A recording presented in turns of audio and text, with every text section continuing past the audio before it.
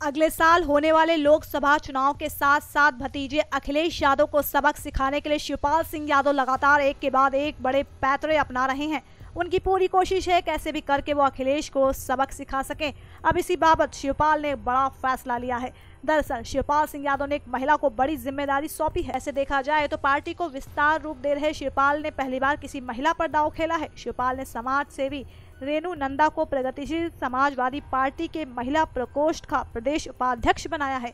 तो वहीं इस खास मौके पर रेणु नंदा ने कहा है कि वो महिलाओं के उत्थान के लिए काम करेंगी। खैर रेणु नंदा अपने किए वायदे पर कितना खड़ा उतरती हैं, ये तो देखना होगा। लेकिन हाँ शिवपाल अब लगातार एक के बाद एक बड़े फैसले लिए जा रहे हैं, जो कि दर्शा रहे हैं कि वो कैसे भी करके सपा को पटकनी देना चाहते हैं। और यही नहीं, अपनी पार्टी की अहम जगह भी बनाना चाहते हैं। अगले साल होने वाले लोकसभा चुनावों के मद्देनजर। खैर, जिस विश्वास के साथ शिवपाल सिंह ने रेणु नंदा पर उम्मीद जताई है, वो कितना मुकम्मल हो पाती है, फ़िलहाल ये देखना बाकी है।